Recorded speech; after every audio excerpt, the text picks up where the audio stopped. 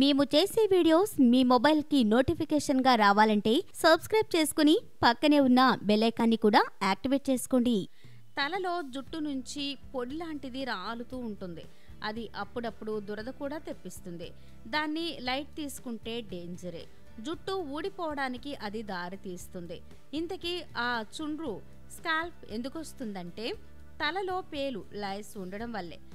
ఒక్క పేను ఉన్న చాలు అది జుట్టును సర్వనాశనం చేస్తుంది. ఎప్పుడో రాలిపోయే జుట్టును ఇప్పుడే రాలిపోయేలా చేస్తుంది. బట్టతల ఇతర సమస్యలకు దారితీస్తుంది. అంతేకాదు మన జుట్టులో నుంచి ఇతరుల జుట్టులోకి కూడా పేలు ఈజీగా వెళ్ళగలవు.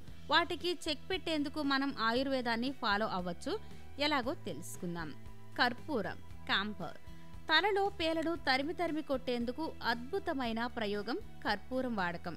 ఏం చెయ్యాలంటే మీరు వాడే షాంపూలో కాస్త కర్పూరం కూడా కలపండి.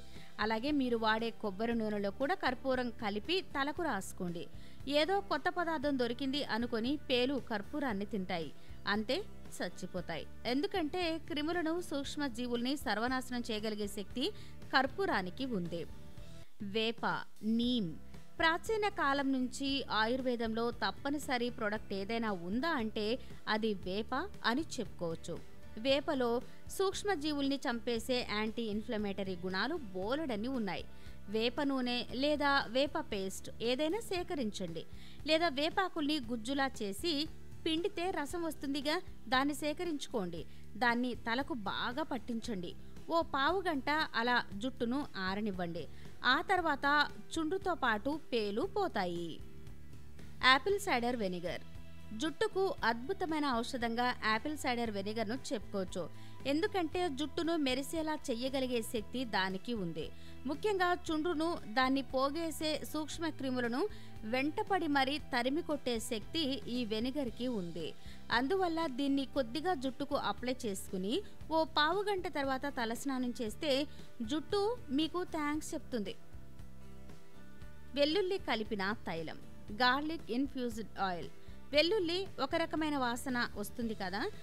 ఆ వాసన అంటే పేలకు అస్సలు పడదు. వెల్లుల్లిని చూస్తే చాలు అవి చాలా ఇరిటేషన్ తెచ్చుకుంటాయి. అందుకే ప్రాచీన కాలం నుంచి జుట్టులో పేలకు వెల్లుల్లి రసంతో చెక్ పెడుతున్నారు. జుట్టు త్వరగా పెరిగేందుకు కూడా వెల్లుల్లి బాగా ఉపయోగపడుతుంది. ఏం చెయ్యాలంటే కొబ్బరి నూనె మీరు ఏది వాడినా సరే అందులో ఓ నాలుగైదు చుక్కలు వెల్లుల్లి రసం కలపాలి.